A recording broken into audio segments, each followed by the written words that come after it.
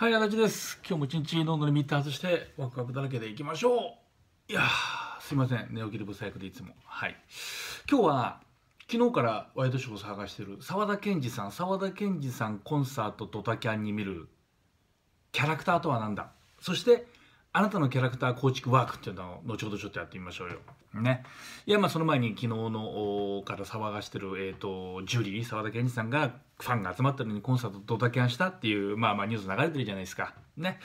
で、まあ、もちろんもちろんお客様集まってるのにドタキャンはいけないんだけれども、大筋の論調として、まあ、それもジュリーらしいよね。あの、彼が意地を通したんでしょ。まあ、そういう人がいたっていいじゃんみたいな空気にななんとなくなってるんじゃないですか今日今朝の段階で。で俺もそう思っていてねまあもちろんこのジュリーのドタキャンに関して別にここで俺が論じるのもあれなんでどうでもいいんですけど、まあ、要はキャラクターだなと思うんですよねその人のキャラクターだな。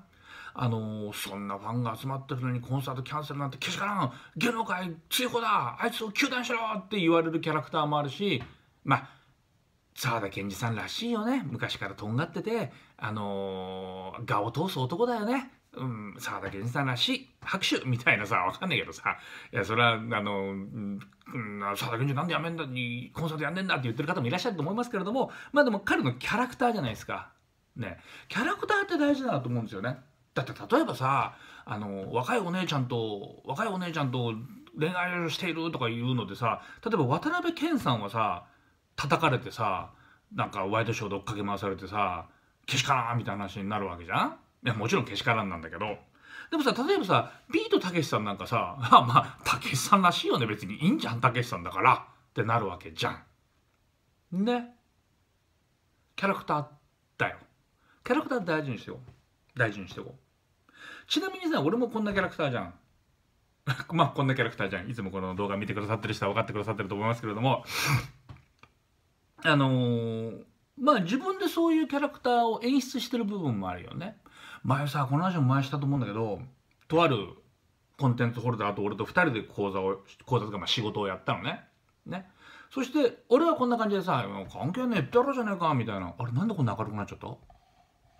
なんでこんな飛んじゃってる？おかしくなったな。途中からね。いや俺はこんなさ関係ないって言ってやろうぜじゃじゃみたいなキャラクターじゃん。でもう一人の子はものすごい真面目なキャラクターなのよ。真面目に緻密にやるキャラクターというキャラクターなのよ。で仕事やっていく上であのこの真面目な彼がね俺に対してね「足立さんいいですね羨ましいです」「いやなんでだ」って言ったらあの最初からちょっとこういい加減な感じで入ってるからちょっとちゃんとした仕事をするところを見せるとすごい評価が上がるじゃないですか。でも僕は最初からものすごい真面目であのきっちりやる性格で入ってるんでちょっとチャランポラなところが見えると途端に下がるんですよみたいな。僕いつもマイナスポイントになってくんです。足立さんいつもプラスポイントになってくじゃないですか。仕事をする上で。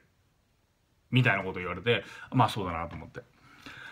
まあでもね実はね実はこれものすごい真面目でものすごい緻密よ。本当は。でもまあこういうキャラクター。を出してるわけね。出してるわけね。なのであなたのキャラクターワークやってみようよ。ねえ。あなたは自分でどういうキャラクターですか。まあなんとなく漠然とは分かってるかもしれないけれどもあんまり意識していないかもしれないじゃないですか。なので今日これから俺がね単語をねまあなんか3 4 0個単語を読み上げるのでその単語を聞いてあピンときた。あこの単語素敵。あこの単語なんかワクワクするっていう単語を書き取ってください。書き取ってください。そして最後その単語をこう眺めるとあ私ってそういう人間なのかっていうのがまあそこはかとなく見えてきますのでやってみましょう。えー、うすうす気づいてるかもしれないあなたはどういうキャラクターなのかっていうのを明確にしましょう。ね。もちろん俺俺みたいなさ破天荒な「やるぜ!」みたいながいいとは限らない。が別にそれはそれで一個のキャラクターでそれがいいわけでは、ま、全くないしみんながそれになってもおかしいからあなたっていうキャラクターをはっきりさせるっていうのをちょっとやってみようよワーク。これあのー、USP 構築ワークみたいなんで講演会でたまにやるんだけど講座とかで、えー、単語読み上げるね。これから読み上げる単語であピンときた。それ私自分に合うかもしれない。私ワクワクするっていう単語を書き留めて。ひらがなでいいからね。漢字、漢字、漢字に直すのめんどくさいからさ。えー、まあやってみましょう。いますよ。いきますよ。まずいきますよ。単語を読み上げます。いいですか？ピンとくる単語を書き取ってください。冒険、挑戦計画通り整頓調整利益奉仕これ結構いっぱいあるな早めにいくよ学び刺激創造ものを作る創造影響解明研究収集観察説得共感変化支配自由運動達成習得神聖神聖はあの神様の聖なるね知識体系化金改善鍛える励ます面倒見る育成壊す分析壊すとこれピンとくるんだよね俺はね、うん、組み立てる書く考える。遊ぶ 遊ぶもピンとくるな。話す解明あごめんごめん解決選択贅沢静けさ騒音自己解明自然危険教える与える発想発見サポート工夫聞く予測戦略。ピンときた単語を書き留めた。もうワンセットあるからいくよ、えー、次はあまあまあいくよ。うんピンときたの書き留めて。認められるちょっと早めに行くね。結構いっぱいあるから。認められる褒められる。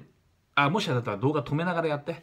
認知される必要とされる好かれる癒されるライバル視される守られる尊敬される感謝される仲間にされる大切にされる可愛がられる望まれる快理解される注目される分かち合う感動される聞いてもらう世話される信用される手本にされる憧れられる触れ合う特別扱い共感される教えてもらう若く見られる愛される親切にされる気前がいいと言われる期待される頼りにされる喜ばれるごめん、駆けしちゃったな。これいつも結構1、1時間オーバーだけど、3、40分かけてやるんで、ちょっと早めだったけど、今、うわーって読み上げた単語の中で、あなたが、もしあれだったらこれ録画を巻き戻して、巻き戻しじゃなくてもう、もう一回再生して戻してやってみてください。あなたが自分自身に対してピンとくるなーっていう単語を書き出します。書き出した単語を眺めます。そうすると、あ、私ってこういうキャラクターなんだ。よし、こういうキャラクターをもっと強く押し出していこう。こういうキャラクターで振る舞っていこう。みたいなのがそこはかとなく見えてきます。そしてあなたがもっと魅力的に周りの人に見られるようになってきます。みたいな感じかな。えー、今日はキャラクターみたいな話をちょっとしてみました。またよろしくお願いします。頑張っていきましょう。あらじでした。